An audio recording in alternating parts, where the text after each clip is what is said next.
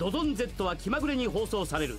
大人気ラジオ番組として伝説を。ちょっと何割り込んできてんのよ。いやあ今の私のトーク聞いてた？いやあのいい聞いてなかったです。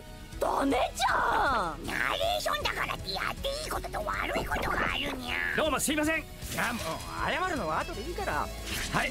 これ最初のお便り読んじゃって。え？私がですか？そうなんさ。では1枚目。